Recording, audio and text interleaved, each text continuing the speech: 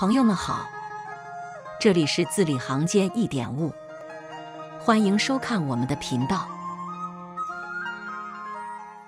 今天我们来写两个字，读懂人生，学会让自己开心。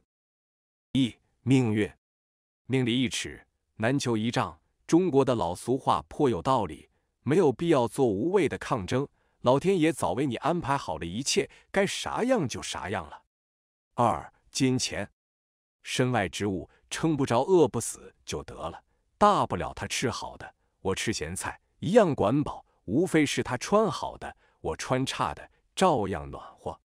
三地位，那东西跟我根本扯不上。他做他的达官贵人，我做我的平民百姓。像小品里说的，最终的归宿不都是那个小匣子吗？没有什么高低贵贱之分，只要合法，能干什么就干什么。口袋没钱不丢人，死要面子活受罪的事千万别干。四婚姻，破锅自有破锅盖，啥人自有啥人爱。当初坚定的要嫁他娶她，就一定有嫁他娶他的理由。现在嘛，闭一只眼，对他的不能容忍也要视而不见；睁一只眼，看看他身上仅存的可怜的闪光点。人无完人嘛。五家庭。几个不和谐的音符被巧妙地凑到一块，没准能奏出异常优美的乐章。那看你怎么欣赏了。反正演奏者是乐在其中。六朋友，想离开你的不必强求，求回来的也许是一个小人。真正交心的也不用天天打电话联系，只要对方有事，一声招呼，随叫随到，两肋插刀就 OK 了。七孩子。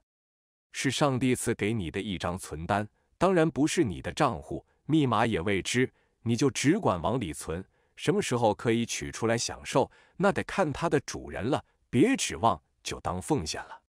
爸父母，他们是为我立账户的人，虽然他们没想要收回成本，但现在也该是我们加倍奉还的时候了。也许直到他们离我远去，都还是还不清呀。